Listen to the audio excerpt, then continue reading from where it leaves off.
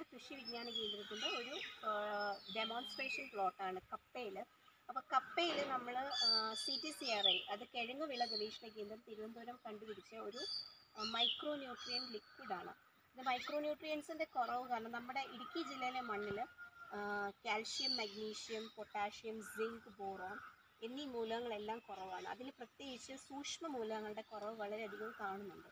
ഈ സൂക്ഷ്മ മൂലകങ്ങളുടെ അഭാവം കാരണം പല വിളകളിലും പല പ്രശ്നങ്ങളാണ് കാണുന്നത്.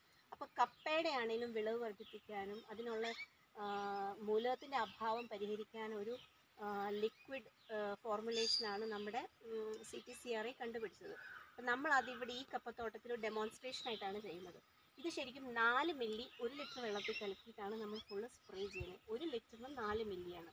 നമ്മളിപ്പോൾ നാല് മില്ലി എടുത്തിട്ടുണ്ട്. അത് നമ്മൾ ഇതിലേക്ക് കലക്കുന്നു. മിക്സ് ചെയ്തിട്ട്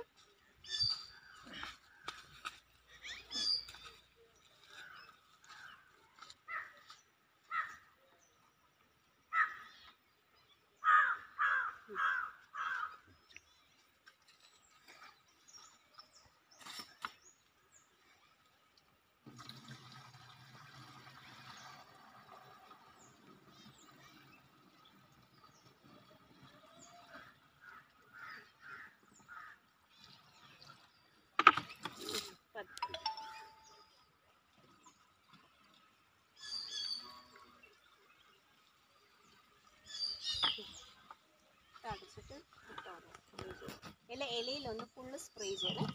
ഇത് ഇലയിലാണ് സ്പ്രേ ചെയ്തത് കേട്ടോ